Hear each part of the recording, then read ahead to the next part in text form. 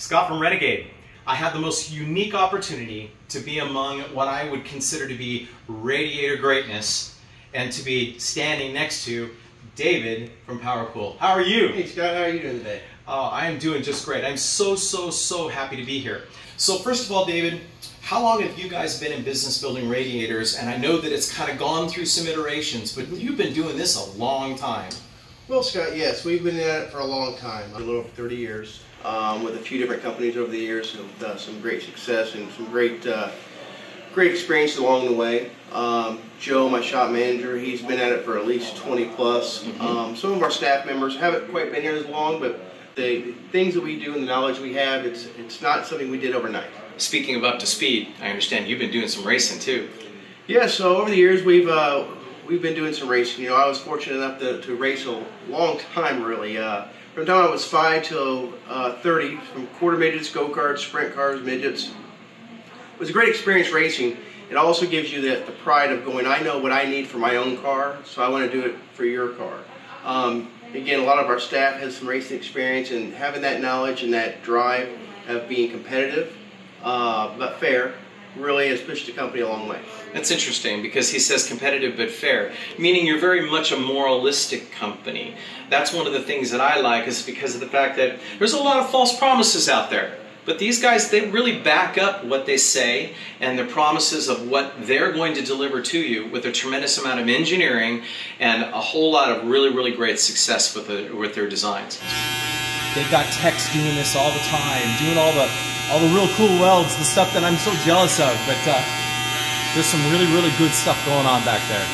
One of my most favorite things that I've learned through the years, and I really want it to, to, to be explained to me by the guy that knows it best, is the efficiency of cores and why some cores, which come from some pretty major, very reputable manufacturers, don't perform like yours do. Show me.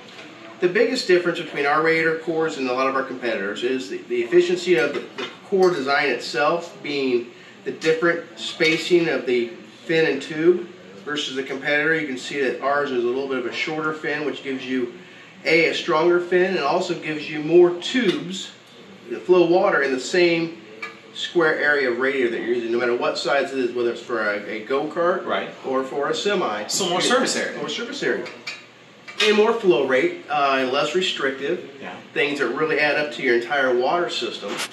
And also it gives you a better opportunity where your dissipation is. Because really where the fin and the tube touch is where your major point of dissipation is in a radiator.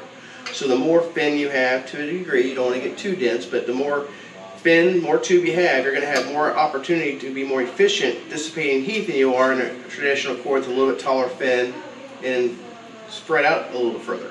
So in a nutshell, what you're trying to say, this being your core, there's more water going this direction, coolant.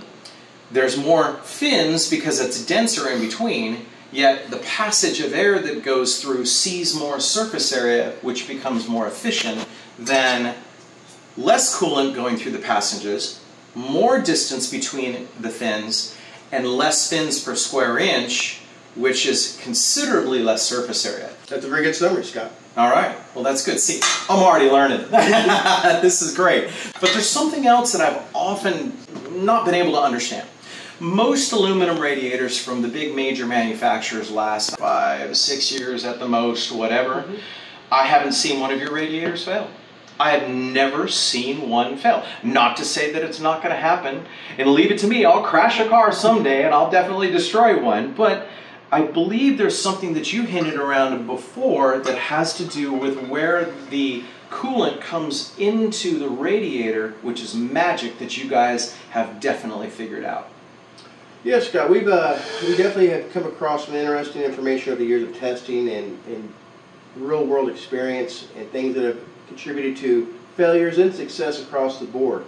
With a typical radiator, you have an inlet and outlet, regardless of where they're placed, and you have hot water and cold water coming in and out.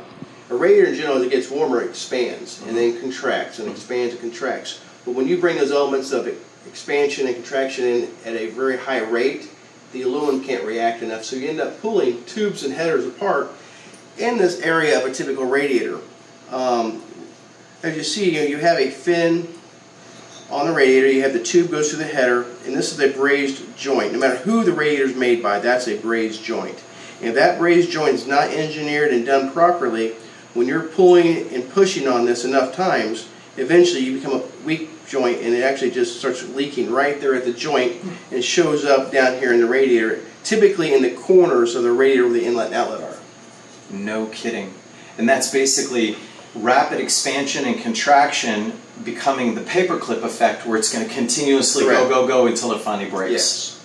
Wow, that is amazing. So, without giving up too much proprietary information, how did you beat that? Because yours don't fail. They don't fail.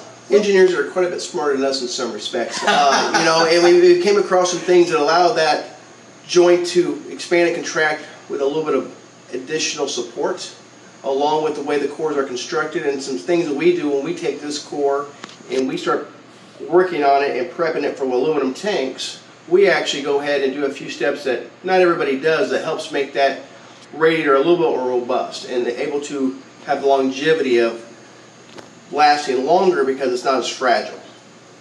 Okay, so the secret sauce is basically you build it better. We build it better through our experience and our hard work and the things we've learned over the years. It's like building a better mousetrap. Yes, I understand. that's funny because that would have been something I would have said. That's for sure. I'm going to show you around. So we're going to spend just a couple minutes, really quick. Uh, we'll uh, we'll take a look at his plant that he has here. We are happen to be in uh, the racing hub of America. We're in Indianapolis. The speedway is like right down the street. No kidding. So the welds all occur back in here on the radiators. You can see up on the wall. There's the design sheet that's right back there. And she's actually laying a really, really nice bead, making sure that everything is gonna be perfect, be structurally very strong. And then once the whole radiator is done, it goes to quality control.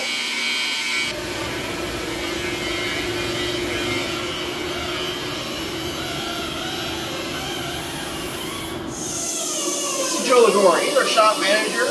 He's in charge of everything out in the shop from the time we pull the sheet metal out of the rack to it's shipped out the door. Right now, Joe's going to explain to you how we pressure check each and every radiator that we build to ensure that we have no leaks in our product when it ships out the door. Basically, we'll go through, make sure all our fittings that are on the drawing match what's actually built on the radiator. We have all these different caps and plugs that we'll put into them, leak check to cap it off. And then we have a couple little quick disconnects here for leak checking. Pressurize the radiator to a certain PSI, stick it down in the water and look for bubbles.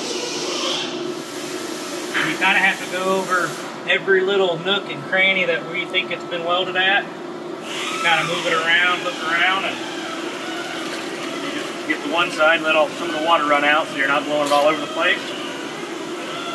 Same thing on the other side. Look around at all your nooks and crannies. Make sure you don't see any bubbles. If you see any bubbles, then you got to go back to the welder and have it fix the leak. After that, after you get most of the water to run back out of it, we have this air drying system here that will make all the air out or all the water out of it with air just to uh, ensure that when we go over to shipping with it, there's no water in the packaging.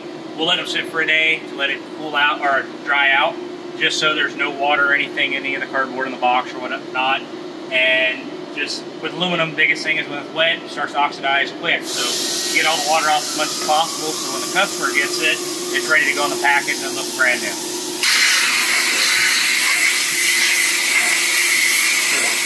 Well, is Scott from Renegade Hybrids. And I'm telling you, being here and being among the professionals here at PowerCool, this is such a such an honor.